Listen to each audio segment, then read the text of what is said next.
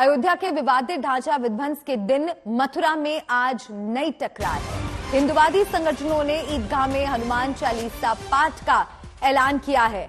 तो वहीं अखिल भारतीय हिंदू महासभा ने शाही मस्जिद में लड्डू गोपाल की प्रतिमा स्थापित करने की घोषणा की है। हिंदुवादी संगठनों की इन धमकियों को देखते हुए आज मथुरा छावनी में तब्दील हो चुकी है। धारा 144 लगा दी गई है। प्रशासन ने कहा है कि ईदगाह और मस्जिद के करीब जाने से प्रदर्शनकारियों को रोका जाएगा, जबकि प्रदर्शनकारी अड़े हुए हैं। उनकी जिद है कि पुलिस जहाँ रोकेगी, वहीं हनुमान चालीसा का पाठ शुरू कर देंगे और धरना प्रदर्शन करेंगे। इन सब के बीच खबर है कि एक शख्स शाही ईदगाह मस्जिद में घुसने की कोशिश कर रहा था। उसे पुलिस ने हिरासत में ले लिया है। हिंदू संगठन के ऐलान के बाद मथुरा में धारा 144 लागू की गई है।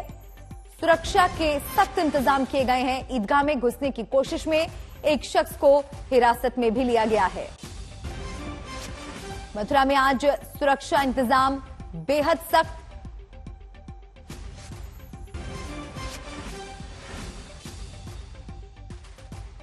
सिक्स दिसंबर को दृष्टिगत रखते हुए व्यापक सुरक्षा व्यवस्था सुनिश्चित कराई जा रही है। सुपर जोन जोन और सेक्टर्स में ड्यूटियाँ लगा के चाक चौबंद सुरक्षा व्यवस्था सुनिश्चित की जाएगी। सिविल पुलिस पीएससी तथा ट्रैफ़िक की डिप्लॉयमेंट है, साथ ही साथ हमारी इंटेलिजेंस की टीमें भी इसमें लगी हुई हैं। मजिस्ट्रेट्स की ड्यूटी भी साथ ही साथ इसमें लगी हुई है। जनपद में धारा 144 लगी हुई है। कोई भी ऐसा आयोजन नहीं होने दिया जाएगा जिसकी पूर्व से प्रशासनिक अनुमति नहीं है। जनपद की सुरक्षा व्यवस्था तथा कानून व्यवस्था सुदृढ़ रखने के लिए पुलिस और प्रशासन पूरी तरह से तत्पर और तैयार है। और मेरे सहयोगी आशुतोष मिश्रा फ़ोन लाइन पर हमारे साथ जुड़ गए हैं उनसे ज़्यादा जानकारी लेते हैं। आशुतोष मथुरा में सुरक्षा इंतज़ाम बेहद सख्त क्योंकि ये मामला बेहद संवेदनशील है। बिल्कुल और इसी के चलते जो है जो प्रशासनिक व्यवस्था है सुरक्षा व्यवस्थाएँ वो सारी इसीलिए व्यवस्था की गई है कि कहीं पर हालात खराब ना हो। छह दिसंबर की घटना को लेकर के कई सारे जो संगठन है, कई सारे तत्व हैं, उन्होंने कहा कि मथुरा की ईदगाह मस्जिद में जाकर के वो नमाज़ हनुमान चालीसा पढ़ना चाहते हैं। हालाँकि मामला पहले से ही अदालत के दरवाजे पर है पूजा पाठ को लेकर के। और जब तक वो न सुलझ जाए, तब तक उसके पहले कई सारे तत्वों ने ये कोशिश की वहाँ जाए।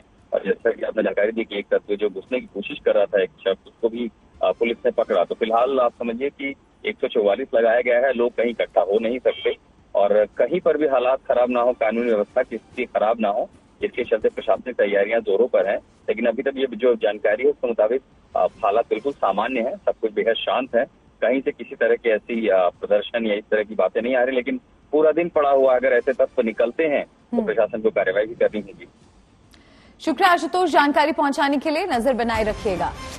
तो मथुरा में आज सुरक्षा इंतज़ाम बेहद सख्त। धारा एक लागू की गई है और ईदगाह में घुसने की कोशिश एक शख्स ने की, जिसके बाद कार्रवाई करते हुए उसे हिरासत में लिया गया।